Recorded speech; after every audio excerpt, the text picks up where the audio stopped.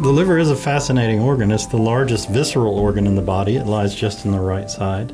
It has hundreds, if not thousands, of metabolic functions that are vital to our survival. Some of its biggest jobs include production of bile, breaking down drugs and toxins that we might ingest, and helping us to deal with the nutrients that we absorb every day.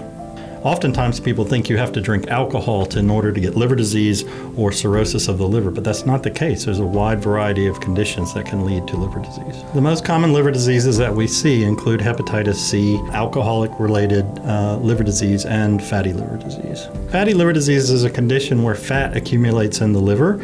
Uh, we often see this in people who are overweight, uh, but it can be much more of a problem in people that have coexisting conditions such as high blood pressure, high cholesterol, or diabetes. Fatty liver disease can lead to cirrhosis of the liver and liver cancer just as easily as alcohol or viral hepatitis. Hepatitis C is a viral infection uh, that occurs and exists in both the blood and in the liver. Hepatitis C, unfortunately, can have no symptoms at all. Uh, fatigue is the only symptom that's uh, uh, reported frequently. The things that you can do to keep yourself healthy when you have liver disease uh, is if you are overweight, to lose weight is very beneficial. We always recommend that people avoid alcohol. Uh, if you have viral hepatitis, the best thing you can do is get treated, and we can do that here at VCU. Uh, VCU has a wide range of hepatologists with interest in a variety of liver diseases. Uh, we have expertise across the spectrum uh, and we do groundbreaking research in liver disease. This is an excellent center for the liver.